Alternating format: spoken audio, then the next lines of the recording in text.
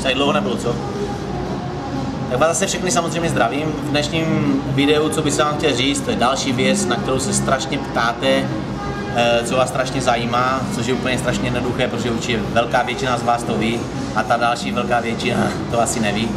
Takže bych se vám chtěl objasnit, jak je to vlastně s břichem.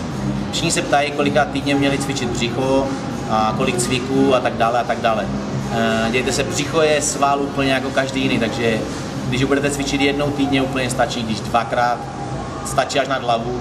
Nemusíte vůbec cvičit každý den, eh, jak se někdo ptá, jestli to vadí nebo nevadí. Sval potřebuje vlastně regenerovat břicho jako každý jiný sval. Takže říkám nejlepší, když ho budete prostě maximálně cvičit dvakrát týdně.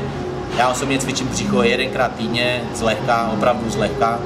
Že to břicho vlastně namáháte u dalších jiných cviků, když vlastně taháte, tlačíte, zabíráte, tak vlastně pořád to břicho pracuje, protože pořád ho zatínáte, takže pořád s ním pracujete. E, proč břicho nejde vidět? E, ve většině případech, protože je zakryté tukem. Takže aby to vaše břicho šlo vidět, co je největší základ, nejdůležitější věc, je, že musíte mít dietu. Vy můžete cvičit břicho dvakrát denně od pondělka do neděle, ale pokud prostě nebudete mít upravenou stravu, pokud nebudete mít dietu, tak to břicho bude prostě pořád zakryté tukem a nikdy nepůjde vidět. Takže úplně největší základ, co je, že prostě musíte držet dietu.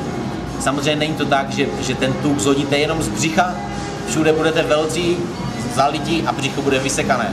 Taky to nejde. Tuk se vlastně ztrácí z, tělí, z celého těla stejně, jo? Takže prostě ať břicho, z břicha se vlastně ten tuk dostává úplně naposledy, nebo tady vlastně ze spodku zad, že někdo třeba má prostě už mu vidět břicho, ale tady má prostě tu na, na zádech holky, třeba na bocích a na zadku. Takže zase nedá se zhojit tuk jenom z jedné části, z jedné části těla, schazujete to prostě celkově.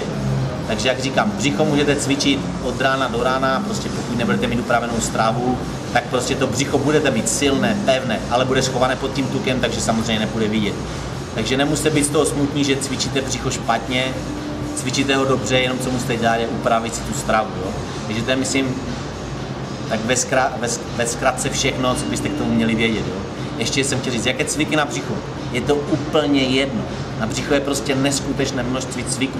Břicho můžete cvičit doma, prostě v leže, na balonu, na strojích, na hrazdě, kdekoliv, prostě venku, prostě jenom u televize, no prostě u čehokoliv můžete cvičit břicho. Ale říkám, pokud nemáte upravenou strávu, eh, moc vám to břicho vykupovat nebude.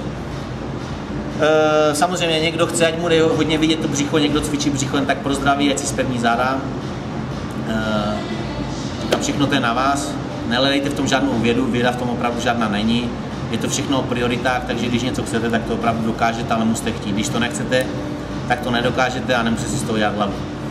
Takže to bylo dneska k tomu břichu a k té dietě, tak zlehka. Mějte se hezky, užívejte víkend nebo týden, kdyby něco, tak nic a čus!